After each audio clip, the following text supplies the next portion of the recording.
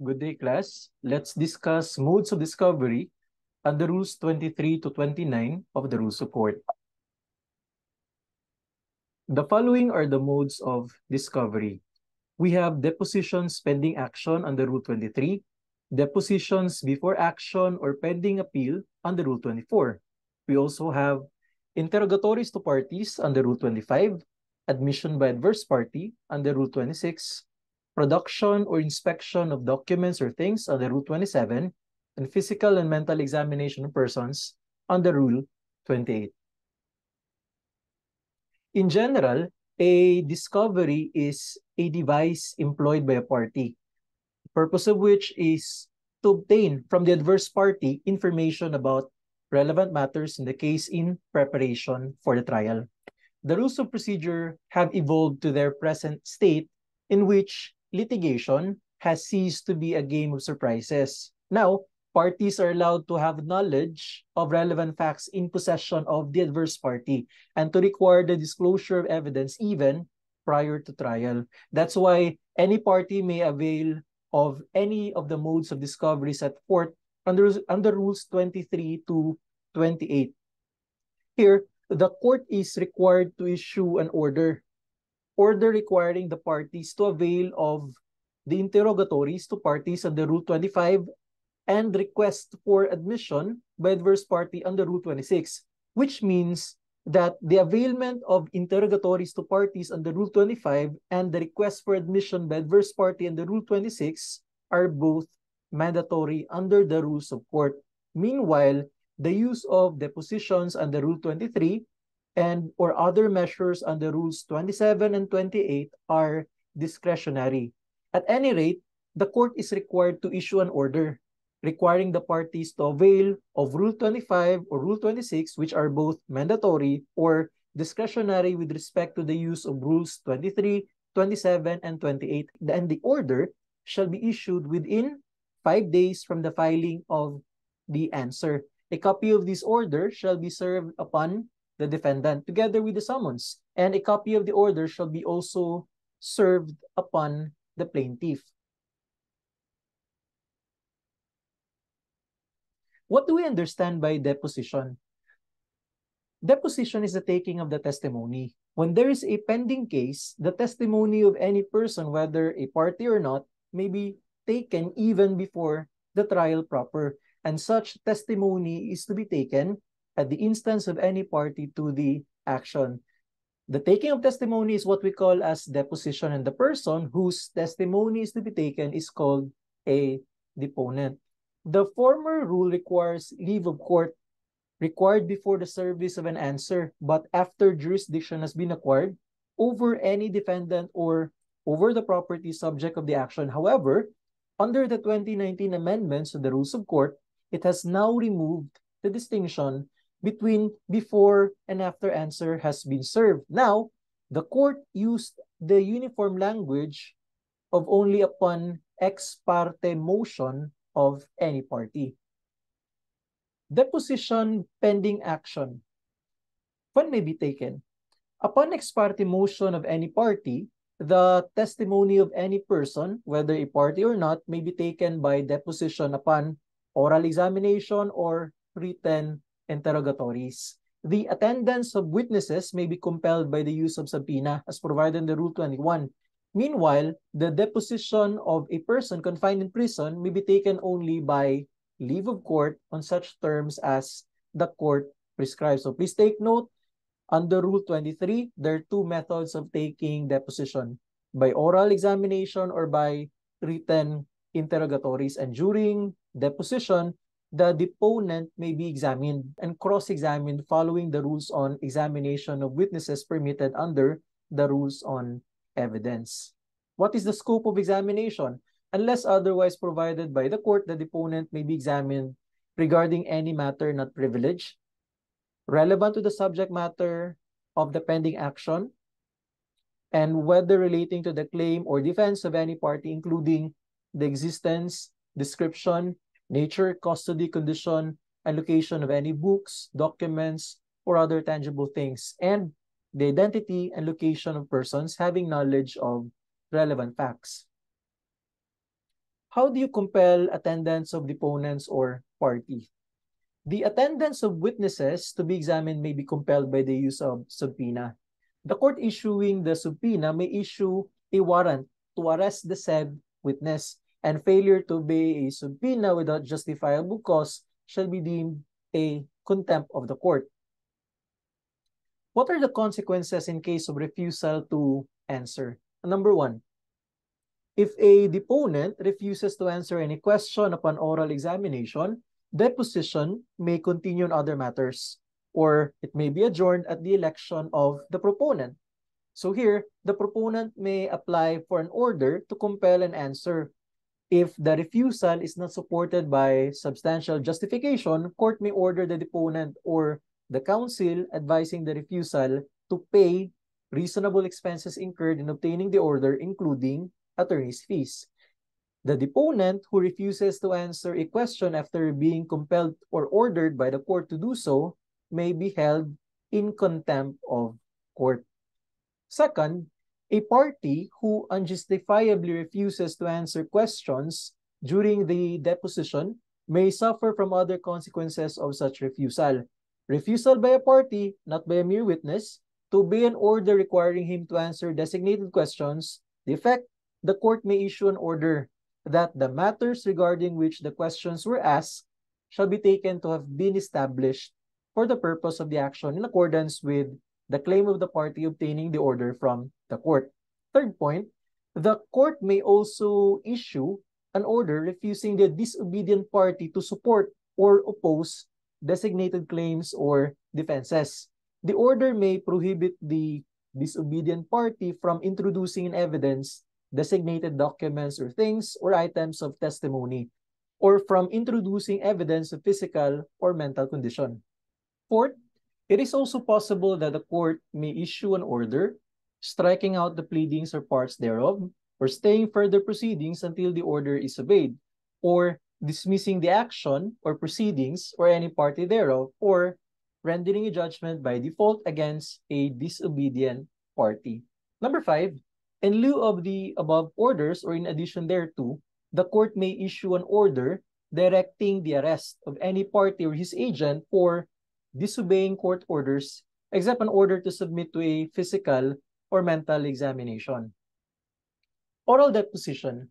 A party desiring to take the deposition of any person upon oral examination shall give to every party to the action a reasonable notice in writing the notice will contain the following, the time and place for taking the deposition, and the name and address of each person to be examined if known. If not known, there must be a general description sufficient to identify him or her or the particular class or group to which he or she belongs. Orders for the protection of parties and deponents. After service of notice for taking a deposition by oral examination, the court upon motion by any party or by the person to be examined and for good cause shown may make the following orders. That the deposition shall not be taken or that the deposition may be taken only at some designated place other than that stated in the notice. That the deposition may be taken only on written interrogatories or that certain matters shall not be inquired into or letter E, that the scope of the examination shall be held with no one present except the parties to the action and their officers or counsel. Or letter F, that after being sealed, the deposition shall be opened only by order of the court. Or letter G, that secret processes, developments, or research need not be disclosed. Or letter H, that the parties shall simultaneously file specified documents or information enclosed in sealed envelopes to be opened as directed by the court. Court may make any other order which justice requires to protect the party or witness from annoyance, embarrassment, or oppression. Here are some guidelines in the taking of oral deposition. Number one, with respect to record of examination, oath, and objections. Letter A. The officer before whom the deposition is to be taken shall put the witness on oath. and shall personally or by someone acting under his or her direction and in his or her presence record the testimony of the witness. Letter B. The testimony shall be taken stenographically unless the parties agree otherwise. Letter C. With respect to objections, all objections made at the time of the examination to the qualifications of the officer taking the deposition or to the manner of taking it or to the evidence presented, or to the conduct of any party, and any other objection to the proceedings shall be noted by the officer upon the deposition. Uh, please note that under the rules of court, it does not provide that the officer has to rule on the objection, but the officer shall only note the objections. Letter D. In lieu of participating in the oral examination, parties served with notice of taking a deposition may transmit written interrogatories to the officers who shall propound them to the witness and record the answers verbatim. Second, with respect to motion to terminate or limit examination. At any time during the taking of the deposition on motion or petition of any party of the deponent, and upon showing that the examination is being conducted in bad faith or in such manner as unreasonably to annoy, embarrass, oppress the deponent or any party, the court in which the action is pending or the regional trial court of the place where the deposition is being taken may order the officer conducting the examination to cease forthwith from taking the deposition or the court may issue an order limiting the scope and manner of the taking of the deposition. If the order made terminates the examination, it shall be resumed thereafter only upon the order of the court in which the action is pending. In granting or refusing such order, the court may impose upon either party or upon the witness the requirement to pay such cost or expenses as the court may deem reasonable. Third, submission to witness, changing, and signing. Letter A. When the testimony is fully transcribed, the deposition shall be submitted to the witness for examination and shall be read to him unless such examination reading are waived by the witness and by the parties. Letter B. Any changes in the form or substance which the witness desires to make shall be entered upon the deposition by the officer with a statement of the reasons given by the witness for making them so. The witness may change the form or substance, provided that there should be a statement of the reasons given by the witness for making them. Letter C. The deposition shall then be signed by the witness, unless the parties, by stipulation, waive the signing or the witness is ill or cannot be found or refuses to sign.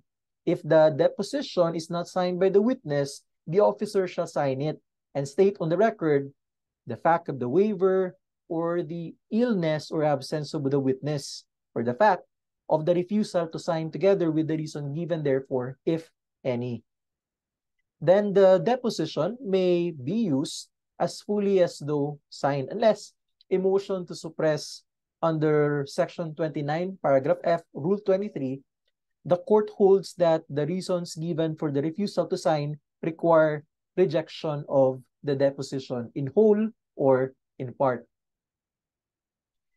Thereafter, the officer shall certify on the deposition that the witness was duly sworn to by him and that the deposition is a true record of the testimony given by the witness. Thereafter, the officer shall securely seal the deposition in an envelope endorsed with the title of the action and marked deposition of the name of witness and the officer shall promptly file it with the court in which the action is pending or send it by registered mail to the clerk of court for filing. Thereafter, the officer taking the deposition shall give prompt notice of its filing to all the parties. Um, with respect to furnish of copies, upon payment of reasonable charges, the officer shall furnish a copy of the deposition to any party or to the deponent. Let's move on to deposition upon written interrogatories. As a rule, a deposition need not be conducted through an oral examination because it may also be conducted through written interrogatories. A party desiring to take the deposition of any person upon written interrogatories shall serve the interrogatories upon every other party with a notice stating the name and address of the person who is to answer them, and the name and descriptive title and address of the officer before whom the deposition is to be taken. The party served with the interrogatories may also serve cross-interrogatories upon the party proposing to take the deposition within 10 calendar days from service of the written interrogatories. The, the latter may within 5 calendar days serve redirect interrogatories. And finally, within 3 calendar days after being served with redirect interrogatories, a party may serve recross interrogatories upon the party proposing to take the deposition. So 10, 5, and 3 calendar days for cross interrogatories, redirect interrogatories, and recross interrogatories, respectively. Officers to take responses and prepare record. A copy of the notice and copies of all interrogatories served shall be delivered by the party taking the deposition to the officer designated in the notice the officer shall promptly proceed to take the testimony of the witness in response to the interrogatories and to prepare, certify, and file or mail the deposition, attaching thereto the copy of the notice and the interrogatories received by him or her. Notice of filing and furnishing copies. When a deposition upon interrogatories is filed, the officer taking it shall promptly give notice thereof to all the parties and may furnish copies to them or to the deponent upon payment of reasonable charges therefore. Before whom is deposition taken? If a party is within the Philippines, deposition need not be taken before a judge, although it may be taken before him. It may also be taken before a notary public or before any person authorized to administer oath if the parties so stipulate in writing. How about if the parties outside the Philippines? A deposition may be taken before a secretary of an embassy or legation, consul general, consul, vice consul, or consular agent of the Republic of the Philippines, or such other person or officer as may be appointed by commission or letters rogatory, or by any person authorized to administer oath by written stipulation of the parties. Please take note that no deposition shall be taken before a person who is a relative within the sixth degree of consanguinity or affinity or employee or counsel of any of the parties or a relative within the same degree or employee of such counsel or one financially interested in the action. Use of depositions pending action any part or all of the deposition so far as admissible under the rules on evidence may be used against any party who was present or represented at the taking of the deposition or against one who had due notice of the deposition. The deposition or any of its parts may be used at the trial or upon the hearing of a motion or an interlocutory proceeding. The deposition may be used for the following purposes. For contradicting or impeaching the testimony of the deponent as a witness, for any purpose by the adverse party where the deponent is a party, or at the time of taking the deposition was an officer, director, managing agent of a public or private corporation, partnership, or association which is a party.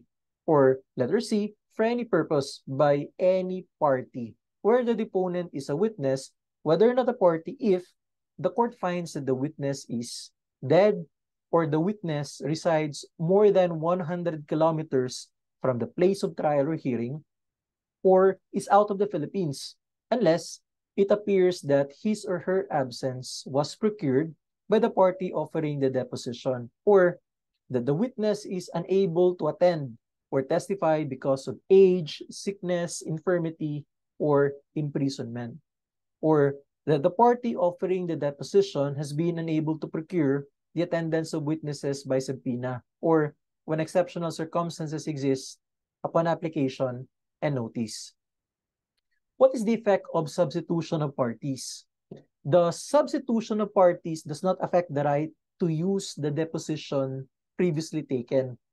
When an action has been dismissed and another action involving the same subject and between the same parties or their representatives or successors in interest is afterwards brought, all depositions lawfully taken and duly filed the former action may be used in the latter as if originally taken. What is the effect of taking depositions? A party shall not be deemed to make a person his or her own witness for any purpose by taking his or her deposition. That's why a person whose deposition is taken by a party does not by reason of such deposition make such person the witness of said party. What is the effect of using a deposition of a person? The introduction of a deposition or any part thereof makes the deponent the witness of the party introducing the deposition if the purpose is other than that of contradicting or impeaching the deponent. However, this rule is not applicable with respect to the use of a deposition of a party or anyone who, at the time of taking the deposition, was an officer, director, or managing agent of a public or private corporation, which is a party of the case. Let's move on to depositions before action or pending appeal under Rule 24 of the Rules of Court. When are depositions before action availed of?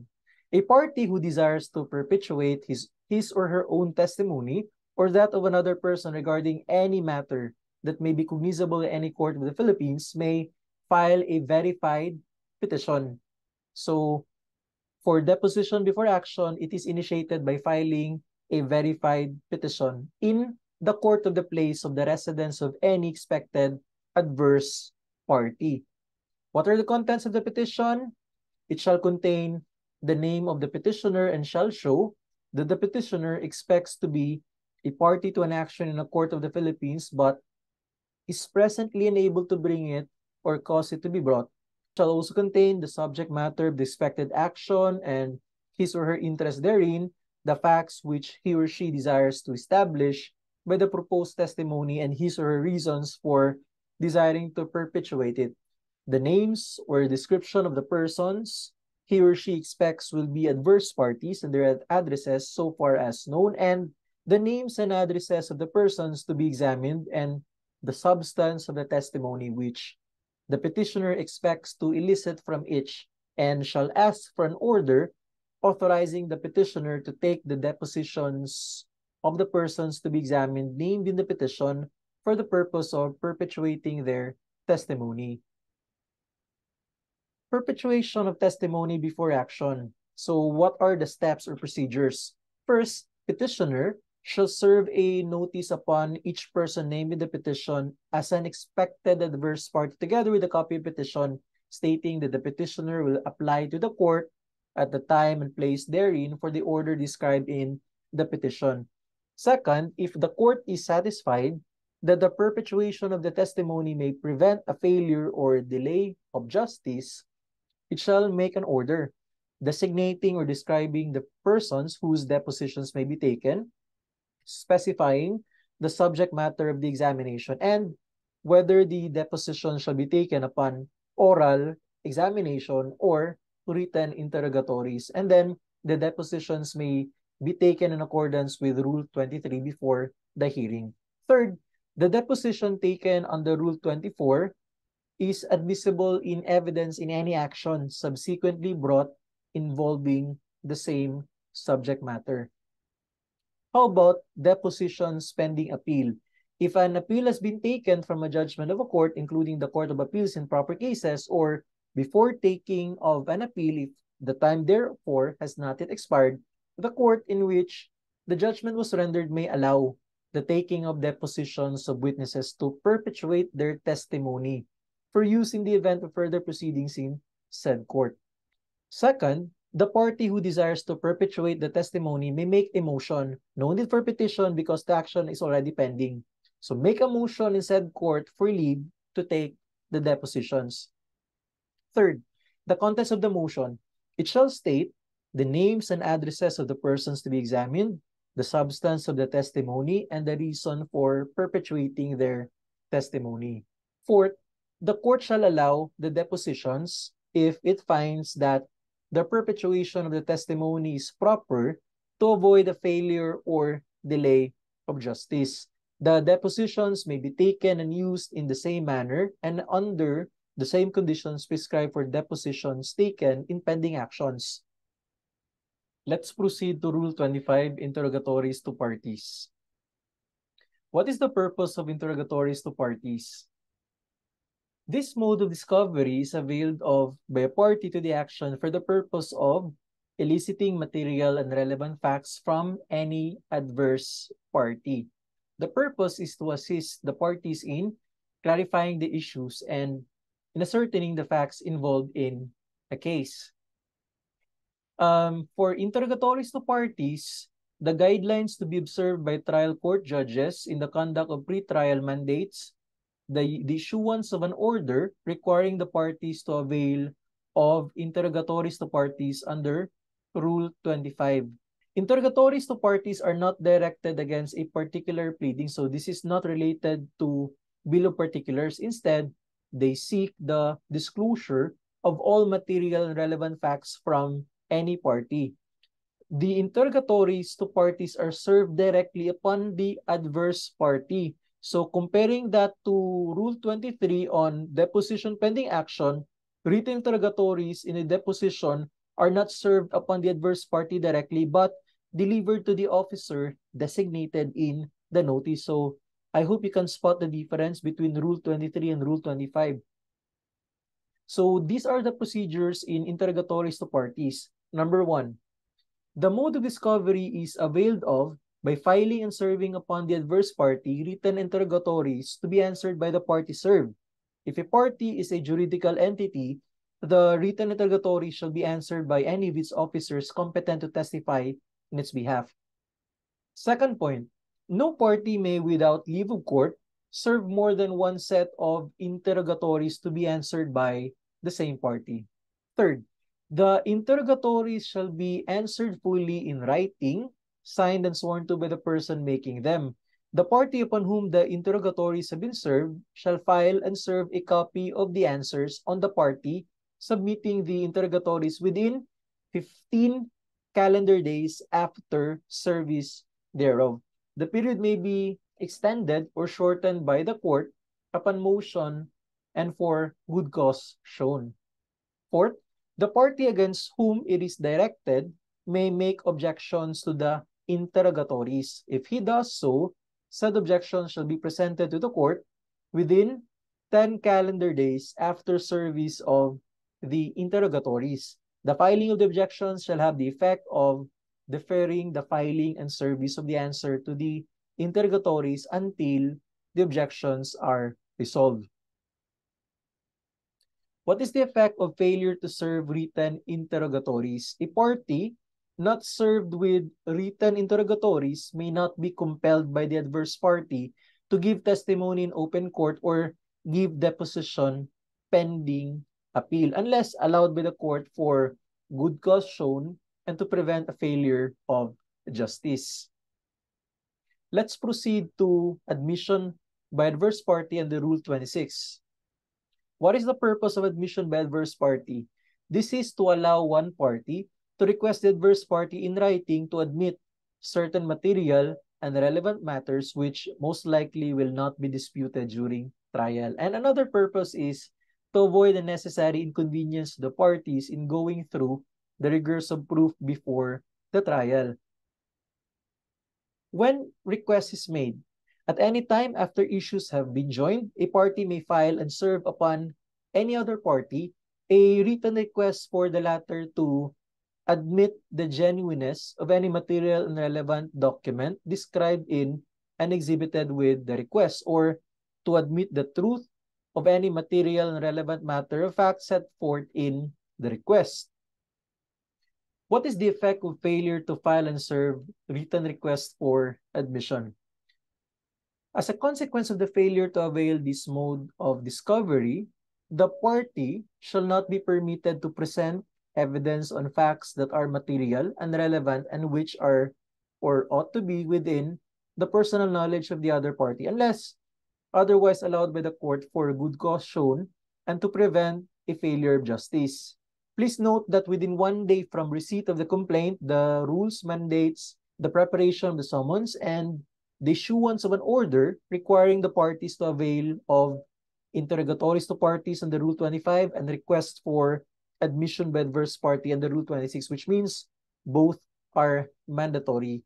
The party to whom the written request is directed shall file and serve upon the party requesting the admission a sworn statement, either specifically denying the matters of which admission is requested, or if he does not deny the same, to set forth in detail the reasons why he cannot truthfully admit or deny those matters. This sworn statement shall be filed and served within the period designated in the request.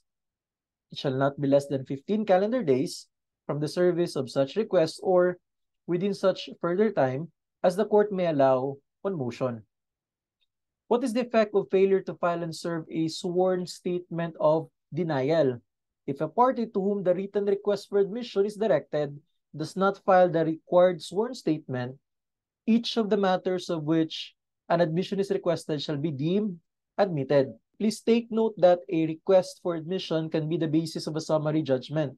The request can be the, the basis thereof when its subject is deemed to have been admitted by the party as a result of that party's failure to respond to the request. What is the effect of admission? Any admission made by a party as a consequence of the failure to comply with the request is only for the purpose of the pending action and shall not be deemed an admission for any other purpose. The admission cannot be used against the admitting party in any other proceeding. Um, deferment of compliance. To avoid implied admission, the party requested may request that the filing and service of the sworn statement be deferred. This deferment may be effected by the filing with the court objections to the request for admission within the period for and prior to the filing of his sworn statement. So compliance shall be deferred until such objections are resolved by the court.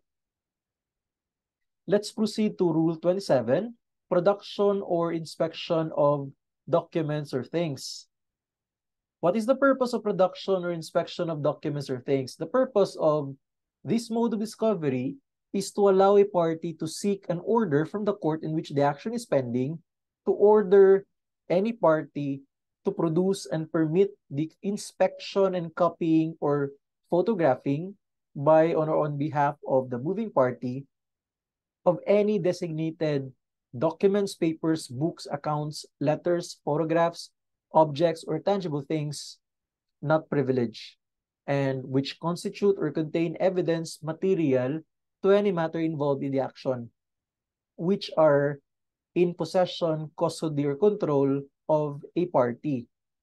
Or another purpose is to secure an order that any party permit entry upon the designated land or other property which is in the possession or control of the party for the purpose of inspecting, measuring, surveying, or photographing the property or any designated relevant object or operation thereon. The order shall specify the time, place, and manner of making the inspection and taking copies of photographs and may prescribe such terms and conditions as are just. In the production or inspection of documents or things, the scope of discovery is to be liberally construed so as to provide the litigants with information essential to the fair and amicable settlement or expeditious trial of the case. All parties are required to lay their cards on the table so that justice can be rendered on the merits of the case. So while the grant of a motion for production of a document is discretionary in the part of the trial court judge, nevertheless, it cannot be arbitrarily or unreasonably denied because to do so would bar access to relevant evidence that may be used by a party litigant and hence impair his fundamental right to due process. So the test to be applied by the trial court judge in determining the relevancy of documents is one of reasonableness and practicability. the documents, papers, books, accounts, letters, photographs, objects, or tangible things that may be produced or inspected should not be privileged against disclosure. So this is on the ground of public policy. So the rules provide that books and papers are not authorized for production or inspection if it pertains to privilege matter because of their confidential and privilege character which could not be received in evidence. So such condition is in addition to the requisite that the items be designated and must constitute or contain evidence material to any matter involved in the action and which are in the party's possession, custody, or control. We have some examples of privileged communication, which of course is a disqualification. We have communication between husband and wife, communication between attorney and client, communication between physician and patient, communication between the priest and penitent, communication of public officers involving public interest, or editors may not be compelled to disclose the source of published news, or voters may not be compelled to disclose for whom they voted. Another privileged communication is with respect to trade secrets. Number nine, we have information contained in tax census returns. And 10th example of a privileged communication or privileged document is with respect to bank deposits. Let's proceed to Rule 28, Physical and Mental Examination of Person. What is the purpose? This mode of discovery applies to an action in which the mental or physical condition of a party is in controversy. So the court in which the action is pending may, in its discretion, order the party to submit to a physical or mental examination by a physician. Examples of this action would be an action for annulment of a contract where the ground relied upon is insanity, or in a petition for guardianship of a person alleged to be insane, or in an action to recover damages for personal injury where the issue is the extent of the injuries of the plaintiff. What are the procedures? First is to obtain an order for examination, which may be made only on a motion filed for good cause shown. So the motion shall specify the time, place, manner, conditions, and scope of the examination, and the person or persons by whom it is to be made. And there should be notice to the party to be examined and to all other parties.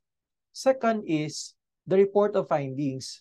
The party examined may request the party causing the examination to be made to deliver to him a copy of a detailed written report of the examining physician setting out his findings and conclusion. But please be careful because after such request and delivery, the party causing the examination to be made shall be entitled upon request to receive from the party examined a like report of any examination previously or thereafter made of the same mental or physical condition. Third point, if a party examined refuses to deliver the report, the court may make an order requiring the delivery on such terms as are just. If it is the physician who fails or refuses to make a report, the court may exclude his testimony if offered during trial. And finally, there is a waiver privilege.